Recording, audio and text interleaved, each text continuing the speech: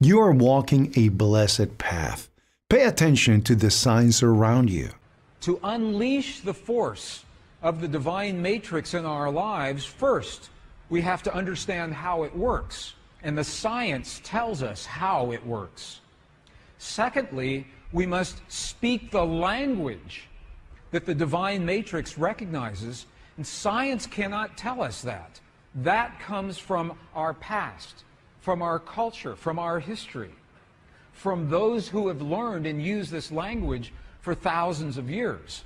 So this is what we're doing right now. We're learning what did Jesus and what did the great masters say about this, this language. Because it's the same whether you're talking Buddhist or Hindu or Christian, pre-Christian traditions, they're all telling us that there is a field of energy and that we have the language to use that field. This is an actual page out of the Gospel of Thomas. So we know that this, this ancient gospel actually existed. And you can, uh, you can see some of the letters. These are Greek letters. You can actually read some of, if you know Greek, you can see some of the Greek letters right here. In the Gospel of Thomas, two very important keys. This was written uh, right around 300 uh, years after the time of Jesus. In this gospel, okay, so here, here's what we're doing. We've been in the Buddhist monasteries in Tibet, and they're telling us that we must, that feeling is the prayer, one.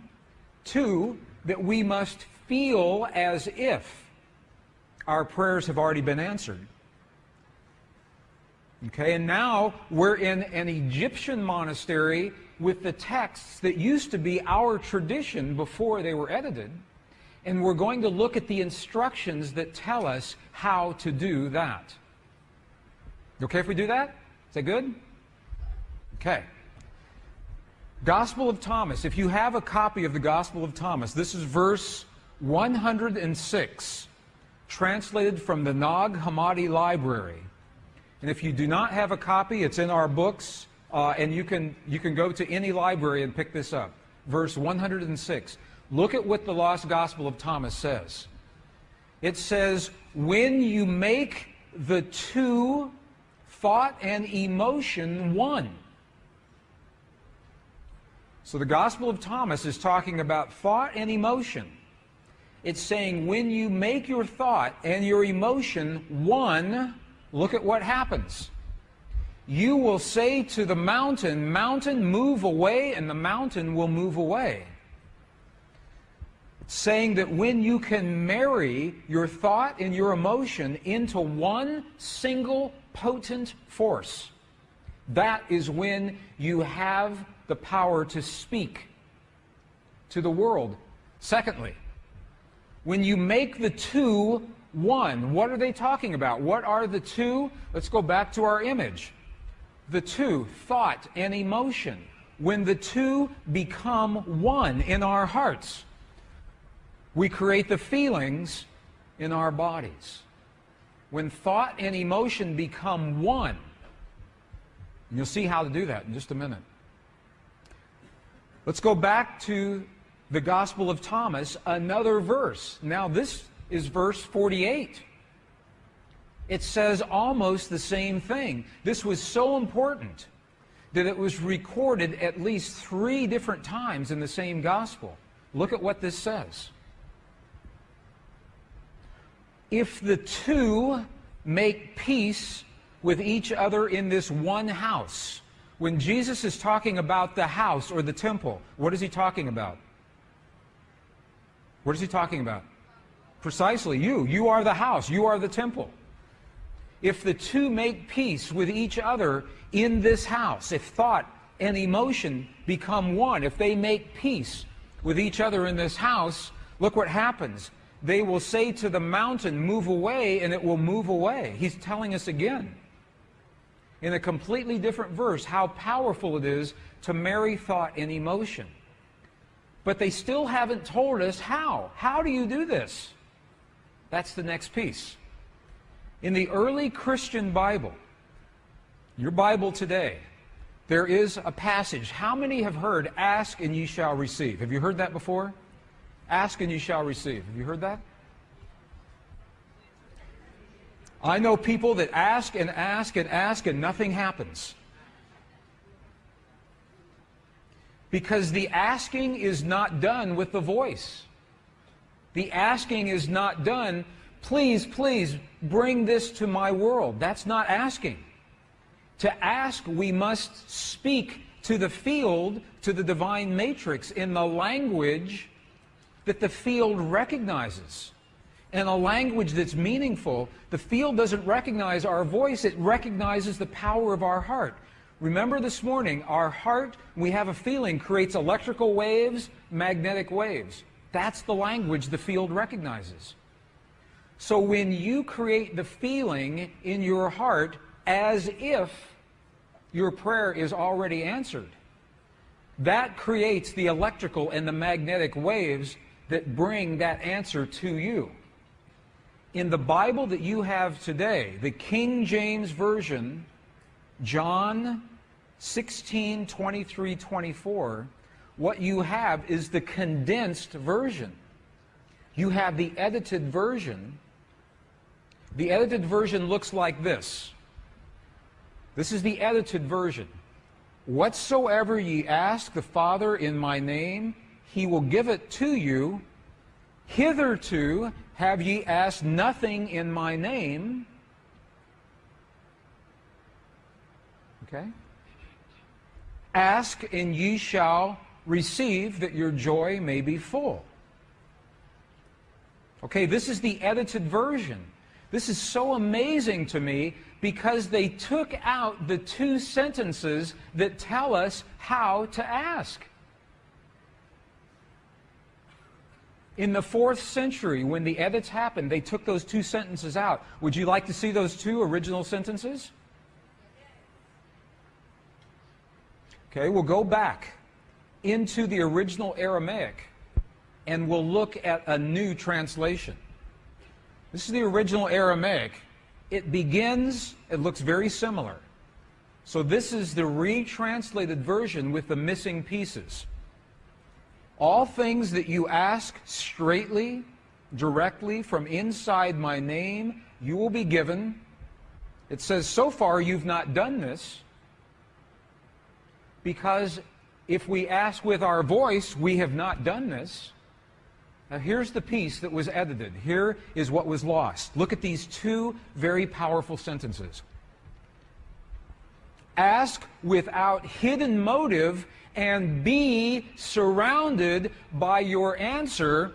Be enveloped by what you desire, that your gladness be full. Look at what it's saying. It's not saying to speak a word, it's saying to be surrounded, to feel as if. If you are surrounded, you are feeling as if your answer has already happened. Be enveloped. If you want the perfect relationship in your life, if you want the healing in the body of your loved ones, feel the feeling of what it is like as if that has already happened. Be enveloped by what you desire, because that is when your thought and your emotion become one. You think the thought of the healing in your loved ones, and you feel the love of that thought. They become one, and that is the language that this field recognizes. Does that make sense? Are you okay with that? You're going to see an example of this, another example here in just a moment. Ask without Hidden motive. What does that mean? Hidden motive. Ask without judgment. This is precisely what the Buddhists are telling us. Ask without the judgment of the right or the wrong or the good or the bad. Ask without the ego. Ask from the heart.